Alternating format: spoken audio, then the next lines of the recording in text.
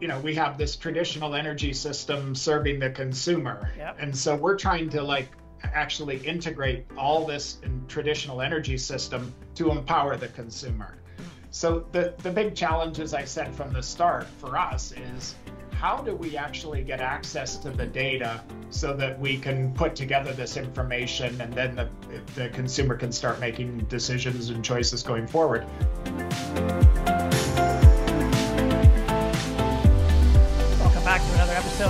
Digital Innovations in Oil and Gas with me, Geoffrey Cann. And on today's uh, episode, we're going to dig into the entire consumer energy experience. I don't know about you, but in my case, my ability to manage my personal energy consumption is really ch- quite challenging. I have a hydro bill, I've got a gas bill, I got gasoline in my car, I'm going to get an electric car soon, and this is creating a real hassle for the end consumer to try and sort through how best to manage their energy footprint as we all progress uh, down our trackway towards decarbonizing our broader uh, energy economy. And uh, I'm joined today by Mark Little, a entrepreneur who is setting out to transform the uh, consumer energy experience. Uh, Mark is the uh, CEO and uh, co-founder of a company called Jotson. Uh, Mark, welcome to uh, Digital Innovations in Oil and Gas. Yeah, thanks, Geoffrey, for having me. This is fun. So looking forward to it. Yeah, it should be a good, a good conversation. This is a big, uh, very, very big topic. Uh, but first, let's begin though with a bit of your uh, personal and professional background. Uh, where you know, what, what is your backstory, and how did you end up uh, in uh, the, at this stage of your life focusing on this particular problem? Right. Well, it's it's interesting. My so originally when I went to university, I decided I would go into like hospitality, but I got enamored with computers and science and stuff, and so I ended up with a computer science degree and a business minor from the University of Calgary, right. and joined the oil and gas industry right out of school. I was born and raised in Calgary, and this is actually where I joined the industry was in Calgary, and uh, worked for Imperial Oil for 24 years. And and as part of that whole journey in understanding science, information, and business. Um, I had an opportunity very early in my career to actually work on what everybody believed it was a systems problem, and it ended up being a business issue. Ah, And so that actually opened the door for me to move from the computer side into the business side. And then I literally spent like 35 years in the oil and gas business. And my last role was as CEO of Suncor. And, and through that journey, I ended up doing my Bachelor of Applied Petroleum Engineering Technology at SAIT. And I also went to Harvard and did the Advanced Management program. So lifelong learning, I think, is part of the journey. So it's been fun. Mark, why is it so hard for the consumer to get their head around all of this? Like, what what are the barriers that make this uh, particularly frustrating for the consumer to get their arms around their own energy? Yeah.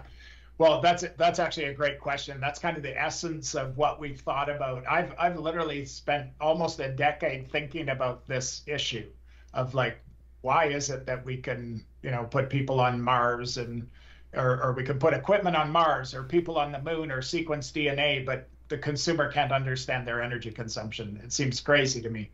Um, but the thing about it is, like, one of it is there's a massive amount of information in this system. To run a complex system with the reliability that we have, with kind of the infinite energy to the consumer, uh, obviously there's lots of sensors and devices and information that are actually designed into the system.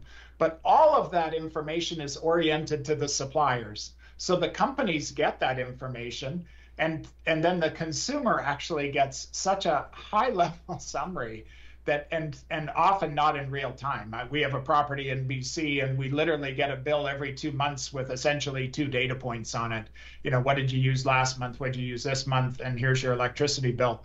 So it's it's like there's very very little information that gets to the consumer. But that was designed to allow the system to be operated. This is just the way it was. And who would have thought with the internet and devices and all this kind of stuff, we we now have the ability as consumers to consume this information or this data and turn it into information. So that's the first thing. Uh, and then there's four reasons why it's difficult for the consumer to actually understand what information they have. First of all, there is no energy company that's the integrator right? There's companies that are electric utilities, there's natural gas utilities, there's propane companies, there's gasoline companies, there's distillate companies. Uh, so there's all of these different fuel oil, whatever it is, and and they're all running their own business, and so they're not integrating the data, and nobody's basically operating across that entire yeah. platform. Yeah. So that's one. The second thing is that uh, multiple people in the household are buying. So my wife, when she goes to the gas station, she puts gasoline into her car. I put gasoline into my car. And it tends to be on the mobile side where we're kind of independently buying, or if you have kids, they may be filling up a vehicle or whatever. So, and it's not like we get home and have a meeting every night to find out, hey, did anybody buy energy today? What's going on? Submit your receipts, blah. like thankfully, or I, I wouldn't be married. And uh, so, and then the third thing about it is that there's so many costs that are actually embedded into the energy system.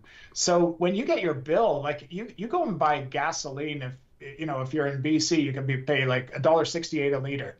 It's kind of like, you know, there's a provincial fuel tax, there's a federal fuel tax, there's GST, there's carbon tax associated with it. There could be other fees in there and you don't see any of it. You just know you're paying $1.68 a liter. So one of the things we do in our system is actually decompose the prices that you're paying, and then we can track, okay, what's the total carbon tax you're paying?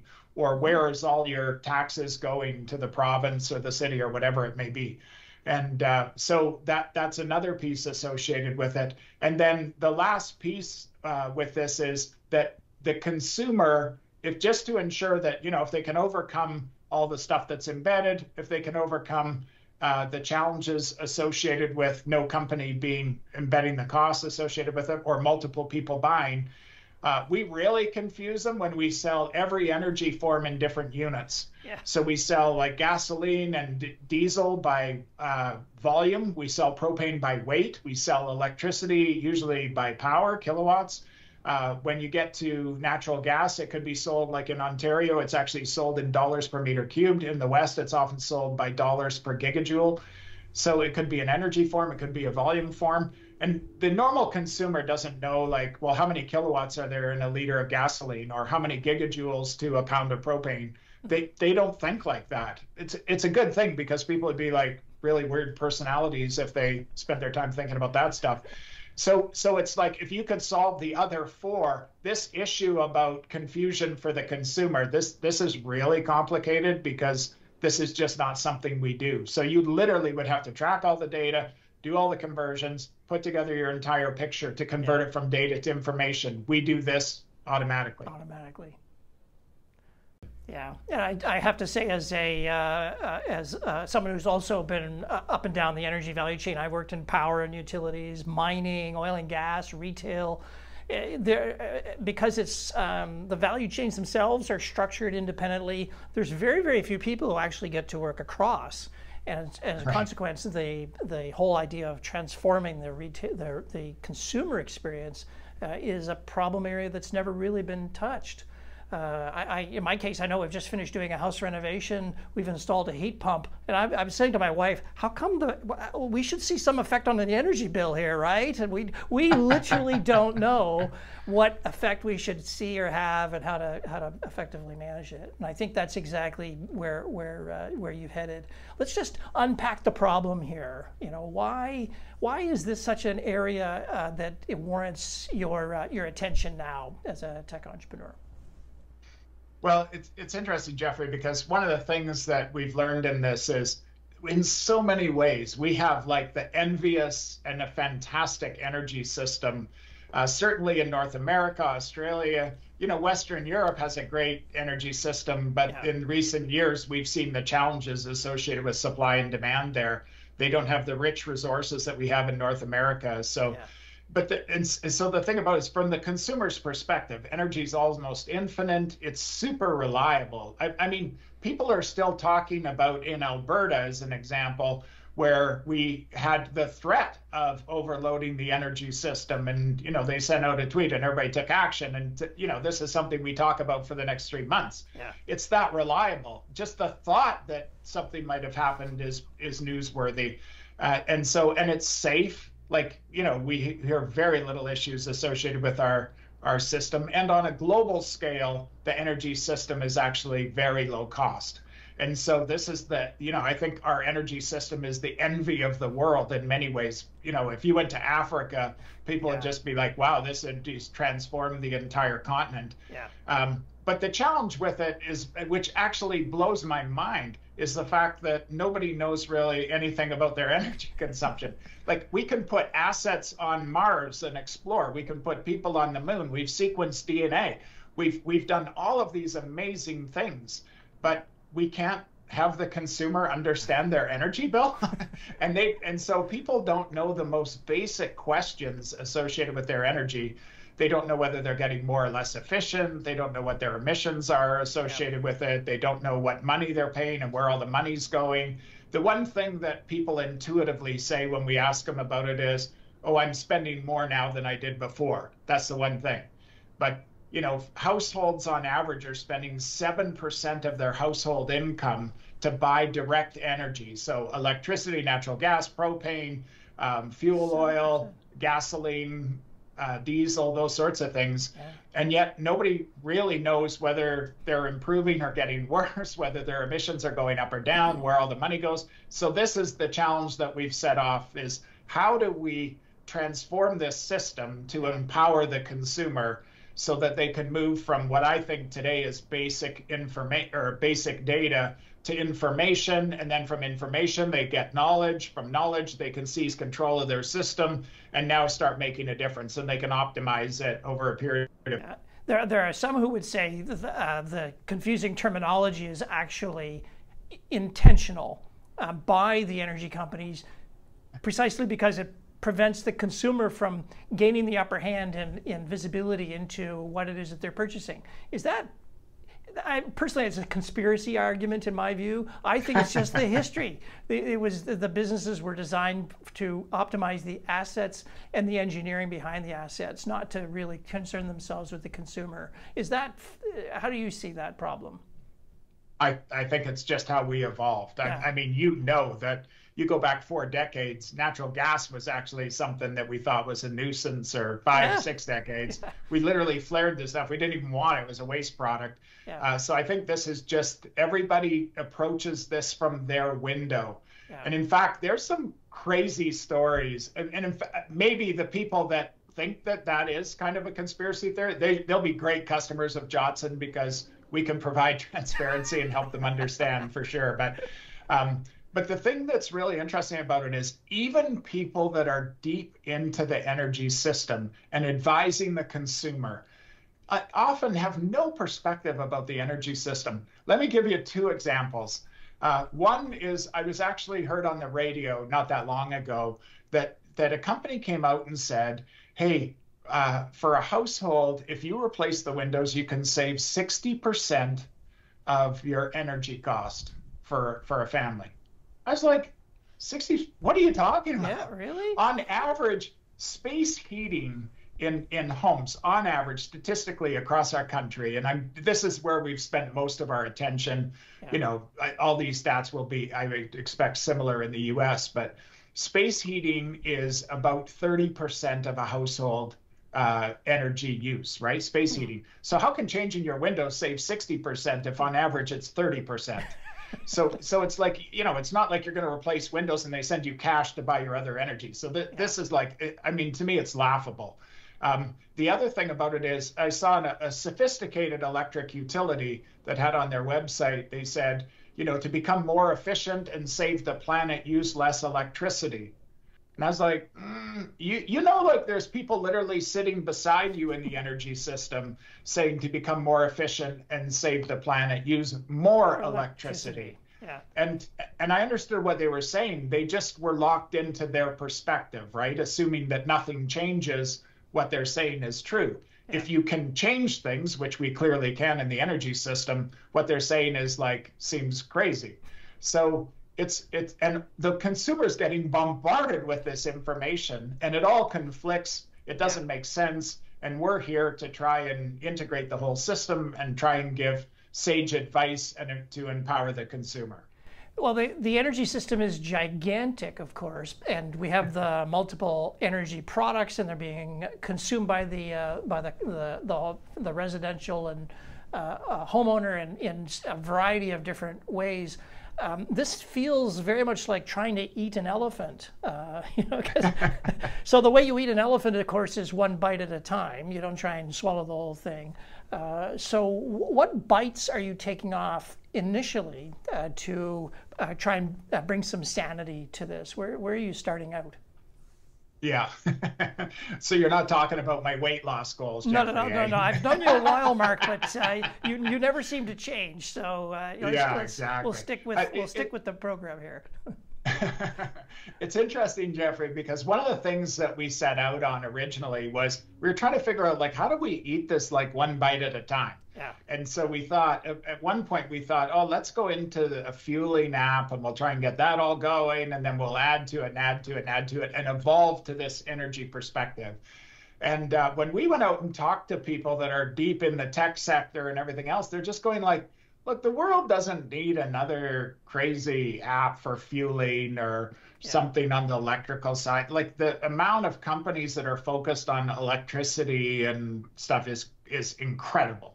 Yeah. Um, but they're saying really the magic in what you're doing is integrating the entire system. So to some degree, I'd say we we've decided that we're going to start eating the entire elephant all at once. We just celebrated at the start of this month. We celebrated our one year anniversary for Jotson. All right, on. and and we've spent the entire time basically trying to put together the entire integrated picture so we have an app now that integrates all the pieces associated with it Yeah. it has limited places where it can be used because we need to figure out how to read all the utility bills and write the code and everything else associated with it hmm. but we have an app now we have 70 households that are using the app and our objective is to get uh, 500 by the end of June and 5,500 by the end of the year. So we need to 10x it almost between now and uh, June, and Yeah. 10x it again by the end of the year. But we're we're making some great progress, and it's it is a bit magical when people start instantly seeing their data and go, "What? I have all these carbon emissions. Like, how did that happen?" Yeah, I thought it was better than or- that. Yeah. yeah. Or they can start to understand how much carbon tax they're paying. They're kind of like, "Oh, I you know I wondered what what was going on." Yeah. And where, where, so the pilots, uh, you, you have your, your customer base is uh, starting to uh, starting to grow. Is it all in Alberta, or are you uh, outside of Alberta at this stage? Well, right now our focus is on Alberta, and so that's where we focus. And we basically uh, can deal with customers that um, are getting their utilities from ATCO. Any of the utility net, like utility net has like 36 different marketing companies, so any of those we can actually handle. ENMAX we can handle. Yeah. Uh, our next stop is to actually work on EPCOR and some of the other big urban centers associated with it. Yeah. So we can actually uh, bring on any people that are dealing with those customers, but our focus is here. And then we've spent a lot of time working on Ontario. So we're hoping in the coming months here that we'll actually be able to turn on all of Ontario Oh. at one time. Yeah, so we're, we're, we're making some good progress there. And obviously, that's a huge market. And so we're, we're in the process of doing that. And I think we're a couple of months away. But one thing that people will encourage them to do, we're just launching a new website. Mm. And when it's launched, you can actually go and sign up for early access. You tell us your location and you tell us what utility you're working with. And then when we get to the point where we have enough with that utility, we can start to bring folks into the app. Bring, so the, bring the data on, yeah. Let the market Yeah. drive and the uptake drive the integration uh, uh, Right. of, of all of that that uh, original data. Uh, with the um, uh, with the the uh, changes that are going on in the marketplace uh, today, are customers telling you, uh, your early stage adopters, are they telling you that they've gotten some real surprises here? You mentioned that, you know, the one surprise was I had no idea I was paying so much in carbon tax. What are the sorts of things they tell you when they, they realize and they get a chance to see the integrated data about energy? Well, we we've heard all sorts of different stories. Some, some of them are like literally almost instantaneous. Uh, one of the individuals was just really surprised because they thought this carbon emissions thing was basically, you know, a, a government and industry issue, and then suddenly realize the choices that they were making, what implications that had on the environment. That's one. Um, some people couldn't care less about that. They're focused on, hey, how do I save money here? And and money is a little bit more complicated because you know you're stuck in this data world that nobody understands. So as soon as you see the information, it's not like you know it's painfully obvious. It's like, well, if I just go change these two things in my home, boof, I save a whole ton of cash. Um, so it takes a bit of time. So we get, you know, we create this information resource yeah. and people can start to understand and they, they can understand what ratio of their total energy or their total expenses comes from one energy form versus another. So you can start setting priorities. If 50% of your energy is in fuel for your vehicle, um, and 10% is in electricity, you probably shouldn't be working on the 10%, right? You should be trying to figure out like, wow, how do we deal with the 50% if we're trying to save money? Yeah. So these are some of the things that it gives some perspective where people can start to concentrate their effort. And then the whole focus that we have now is now that we've integrated, you know, gone from data to information, and we're just rounding that out kind of for the first stage here. Yeah. Uh, and then you can start building analytical tools to help them understand what's going on. Or you're getting less efficient, but you're getting less efficient in this particular area and so then we can start to explore what's going on and and you know the vast majority of consumers the way they find out they have a problem with their furnace or their air conditioner or their heat pump or whatever it may be is by getting off. a huge bill yeah yeah yeah it, or it doesn't work it's off and then uh, right yeah yeah but it's when you or it totally bill. fails but yeah. usually before it totally fails you're you get this massive yeah. inefficiency in your system but the data's not there actually to tell you about that. So this is the journey we're on, and it's it's amazing. Like, it, and it's funny because a lot of people are just trying to solve like emissions or yep. whatever. Yep. Yep. Um, but when you go back and build the fundamental system that's underlying it, now the ideas that are coming out are just exploding. Yeah. And uh, so we're all about prioritizing how are we going to deal with all this. yes start eating the elephant. Uh, uh, with the um, uh, with the, the journey that you're on, I'm sure you're encountering all kinds of uh, barriers and obstacles and challenges that are slowing you down. What are the sorts of things that you, you bump into that uh, make this problem uh, particularly challenging to focus on?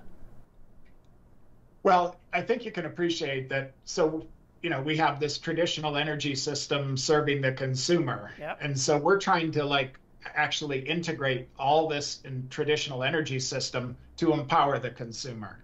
So the the big challenge, as I said from the start, for us is how do we actually get access to the data so that we can put together this information and then the the consumer can start making decisions and choices going forward. Yeah. And so so a lot of times we've actually been out talking to people in the traditional energy world about, hey, you know, would you like to work with us and try and do this and transform the consumer experience? And and you know, I would say you the entire spectrum of potential reactions we've seen in this entire thing. Some people just like, what are you talking about? Who wants the consumer to understand anything? Like, we're not giving you the data and we're not doing this um, through to some, I think, spectacularly innovative companies that are sitting in the realm of possibility, going like, okay, actually, this could be really good for our consumers. Yeah. And I could see, so how do we walk down that path? And uh, we expect probably in the next few months to be making some announcements about some partnerships with some companies where we're actually talking about running some pilots mm-hmm. to see what this means to their consumers and get the feedback from their consumers so we can work in that journey. And I'm really excited that we're seeing as as always in that spectrum. You're going to have people that are resistors or afraid of it and others that are going to kind of go hey I, I think this is great for the consumer. How do we make it great for us? And find the win-win in this for the you know whether it's a utility or a fueler or a propane company or whoever it is that's playing in the energy system What's the uh, what's the commercial model here? That is it subscription by the end consumer? Because after all, if they get the data and they can manage their energy footprint down, they'll get a savings that way. Or is it uh, energy companies who say, "Hey, we want our consumers to reduce their uh, energy demands because it means we can avoid having to expand or add uh, invest in capital. There's value there, or is it energy savings companies who advertise? Like, what, where, where, how does this venture kind of commercialize? well, that's a great question. Um, part, part of what we're trying to explore is a variety of different avenues associated with this you know our hope was is that the utilities and the fuelers and stuff would plug into this and we could find a way of essentially financing the company through the supplier network because yeah. this is really good for the consumer um, and and we are like through some of these pilots we we are actually just funding our own side of this for the pilots, and the companies are um, funding their side. So we're going to do some experimentation for that. But I actually think it would be like hugely advantageous to provide this capability to the consumer so that they're empowered to understand and it's kind of like my view is is that they're more apt to want to shop with that company because they can get this experience essentially for free. Mm-hmm. When when we go to Ontario, we're going to try something a little different is our thinking at this stage. We're we're literally going to go to more of a subscription model. And and when you go to subscription model, it's kind of like, look, we are totally unencumbered. We are fully away from every single company. Yeah. So now if your utility is actually providing you like a really bad deal, we can actually flag this to you and and show you like okay there's some opportunities here and we see like costs in the market that are significantly less we think you should be switching contracts and you can save a whole bunch of money associated with it and uh, and there's probably a middle ground between those two yeah. so we're going to be testing as part of this journey a few different commercial models associated with it but you can imagine that like some of the analytical tools are oh. things like oh we know we oh, know oh, yeah. literally all your energy consumption. You know, where's the advocate for the consumer? And the beauty of it for us is we can see your information and before you can do the install and we can monitor it after and tell you did you ever get paid out on your solar yeah. did this are you getting the results that you expected yeah. nobody's doing this today yeah. people are, are manually have to do it if that's what they're trying to understand yeah, it's very, very frustrating uh, for the consumer. I, I uh, recall a, a driving experience I had recently on a Tesla that was left in valet mode, and I was unable to, using the car, um, track my uh, energy usage. So I had to build, I was driving along, and this is in Nova Scotia, I'm driving along, and I had to build a little spreadsheet on my tablet so I could track to know when I needed to stop in and get the car uh, recharged, right? And, it was like, why am right. I doing this? This should be this shouldn't be uh, on me. uh, imagine taking that experience and extending it to the, uh, the to the the whole of the household, right? Just uh, right. insane. Uh, you, mentioned the data, the analytic horsepower that comes from the data.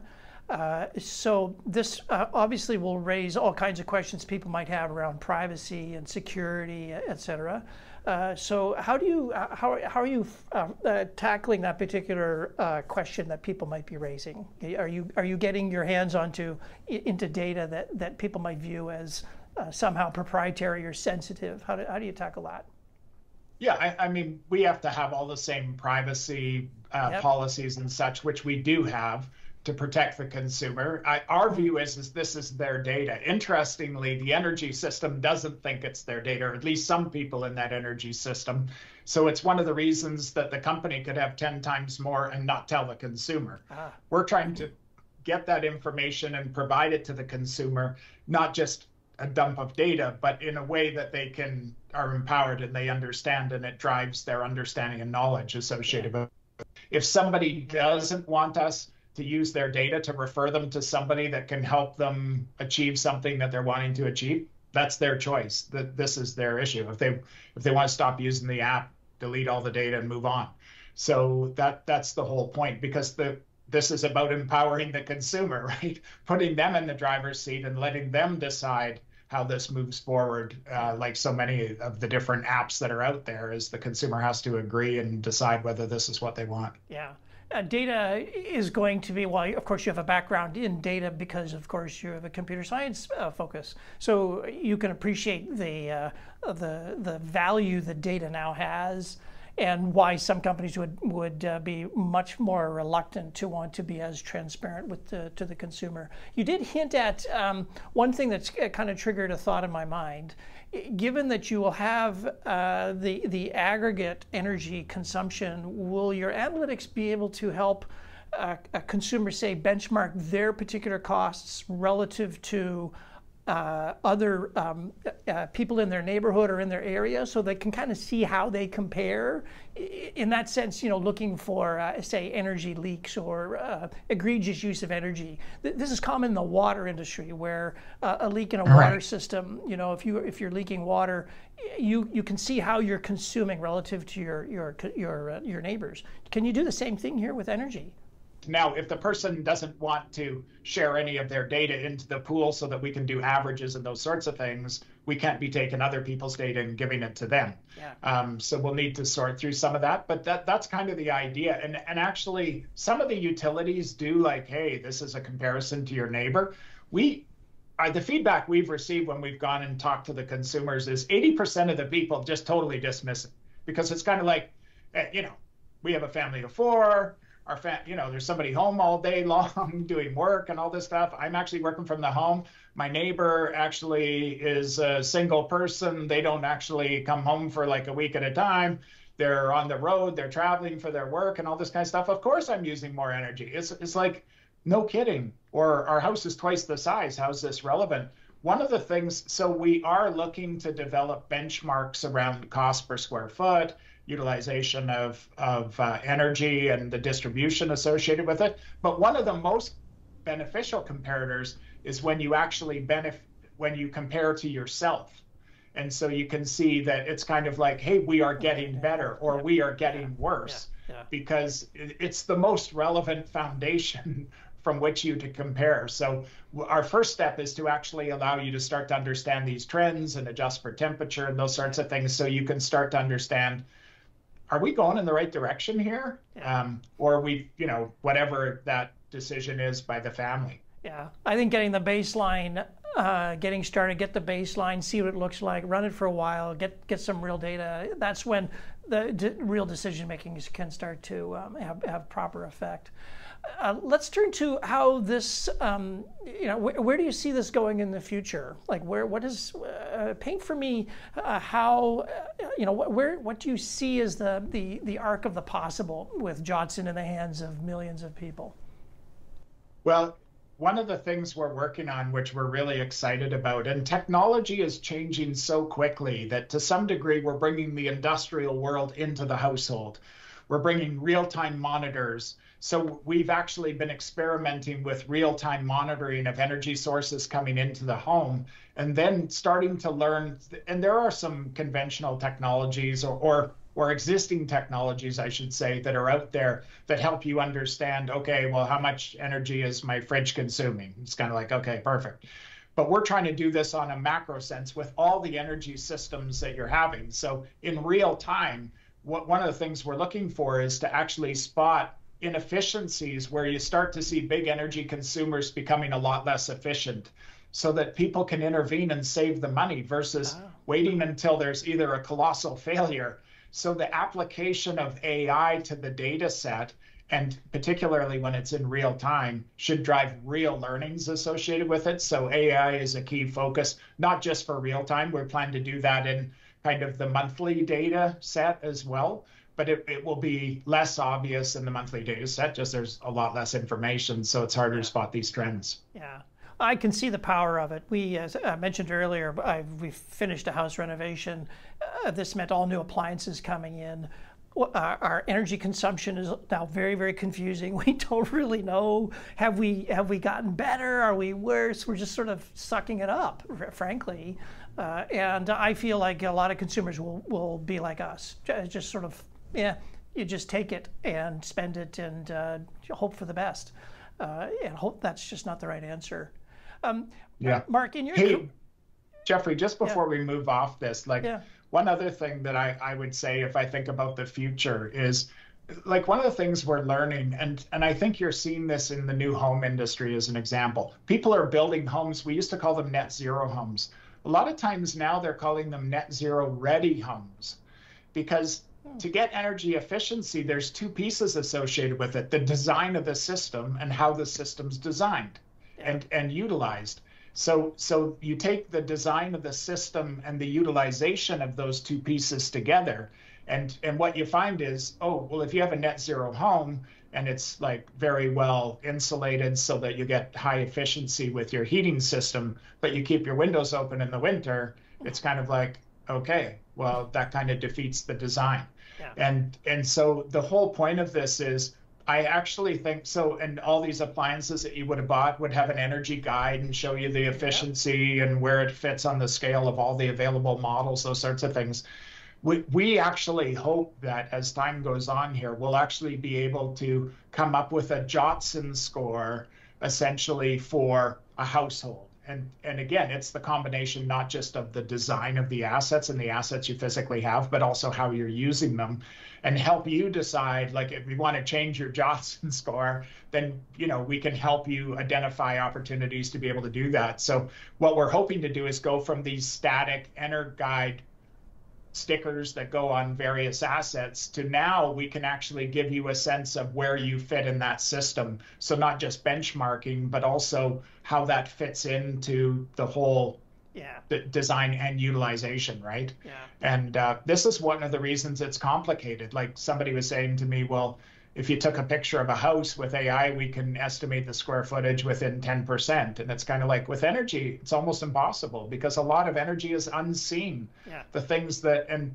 and often if it's never been right, it's really hard to detect because you don't see it. Yeah. And so you, you go on and just think, well, this is just the way it is. Yeah. Uh, so much, much. Uh, there's so much promise here. It's uh, very exciting. Um, you've been uh, throughout your career. Your, uh, if I could characterize it, it would be a first career, extended career in corporate world, very large organizations, Imperial Oil, Suncor, gigantic companies. Now you're in a small business with I don't know how many people, but a handful. Um, what are the sorts of insights you've you you you kind of can share with other entrepreneurs who might be say in a similar uh, similar to you in that they've they've gone through one life trajectory now they're on to a new one. What, what what advice would you pass on to someone like that? Well i you know i think from my perspective i love being intellectually engaged and such but it's been it's been kind of fun to get back to like okay i just go and make stuff happen. And so you know, in, in my corporate roles, you're literally trying to sort of like what's happening in the next, you know, year, five years, 10 years, 20 years with the company and plot this out. Some of this you will never see. Uh, some of these things take years and years and years to go from idea and decision to actually affecting change. So the, the thing that's kind of exciting is to get to a little bit shorter cycle and uh, and see that effect. But I, I think some of it is that to some degree we've basically received training our entire careers around everything from information systems, leadership, culture, relationships, suppliers, customers, those sorts of things. So I'm I'm looking to bring my entire history of learnings to the table associated with this. But you know, this is a totally different world than the world I've spent my career in. Uh, my daughter's actually an entrepreneur, so you know I've gotten lots of guidance and teaching from my daughter, who's been a successful entrepreneur for 15 years associated with it. But it's it's been a lot of fun, and you know I, I went to the software as a service conference in Silicon Valley for the last couple of years, you know, I almost need a little dictionary to find out like what in the world's going on. What is bootstrapping? Like I find out bootstrapping means like, oh, you're just writing the checks yourself. I was like, okay, we're bootstrapping. Bootstrap, Fantastic. Yeah. yeah. Um, so you know, it's it's a whole new world to learn about, and you know, it's there's doors that will get open because of our previous relationships and our reputations. Yeah. There'll be doors that are closed because of our previous relationships and reputations and such. But you know, it's it's all about understanding, being passionate about something, and working to drive change. And that's where we're at at Jotson. It's been a lot of fun. So anybody that's considering it, I would certainly encourage you to dip your toe in the water and give it a try. Give it a go. Um, Mark, thank you so much for coming on the uh, podcast today. It's been fascinating, and I am looking very much uh, to becoming a Jotson customer um, sometime soon. Please, please come to BC. we need, we need we need Jotson here badly. Yeah, thanks, Geoffrey. Appreciate it. All right, that's been another episode of Digital Innovations in Oil and Gas. Uh, if you like what you've seen, please press the like button and share this with your uh, community. Better yet, leave a comment uh, for Mark or I, and we'll get back to you in short order. And I will return in a week's time with another episode. Bye for now.